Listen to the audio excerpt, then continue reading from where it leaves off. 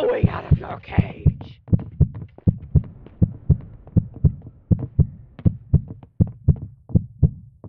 Don't run. You'll lose your...